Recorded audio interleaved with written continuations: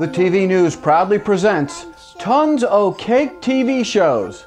Brought to you by NewmarU.com, Internet Marketing Education for Professional People. Here now is Susan Hibben. Hello, and welcome to the official kitchen of the TVNews.tv. Let's first answer the question that the anchor of the TV News, Jeff Grimshaw, has been asking you for days. And that is, how many cake shows and related cake shows do you think that there are on cable TV? Four? six, ten, Keep going. A baker's dozen, which is 13. No, keep going. Are you kidding me? 15. 15 current TV shows involving cake. You think that's enough sugary, fatty overkill for TV viewers? Or do you think we need more? Well, WeTV thinks we need more, as in June they will introduce Staten Island cakes to their TV lineup. Now, who are the major perpetrators in ramming so many cake TV shows down our throats? Well, we'll get to that in a minute. But first, as promised, we're going to bake a cake. It's my buttery yellow cake with chocolate whipped frosting. And here's what you're going to need.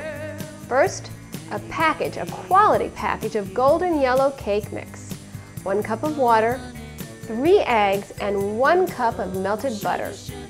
Go ahead and preheat your oven to 350 degrees. Butter and flour your two 8-inch or 9-inch round pans. In your electric mixer bowl, combine the cake flour packet, water, eggs, and butter. Mix for about 30 seconds to a minute. Pour the batter into your prepared pans and bake for 40 to 50 minutes. You'll know when it's done. Put a toothpick in the middle and if it comes out clean, you're good. When baked, let your cakes cool on a wire rack for about 10 minutes before you remove them from their pans. Now, here are the main perpetrators of this obvious overdosing of cake shows. TLC weighs in with the most. Count them, six cake shows. Close behind and tied for silver medal are both Food Network and WeTV with four cake and cake-related shows each.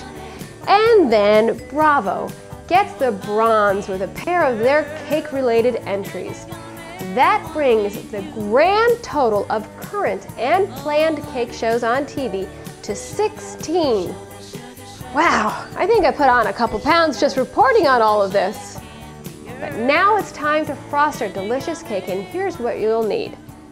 2 3 a cup of cocoa powder, stick of softened butter, 3 cups of powdered sugar, a teaspoon of vanilla, a pinch of salt, a third a cup of milk, a splash of leftover breakfast coffee, and my secret ingredient for shine, 2 tablespoons of honey. Combine all the ingredients in your mixing bowl and whip it for about a minute or two. And go ahead and frost your cake. Sugar, sugar, you are my candy girl, and you got me wanting you. I just can't believe the love. So those are your cake shows. And here's your cake. And you get to eat it too. Back to you, Jeff. Mmm. Thanks, Susan. The cake is delicious. 16 cake shows on TV. Not so delicious. How about a little more originality, guys?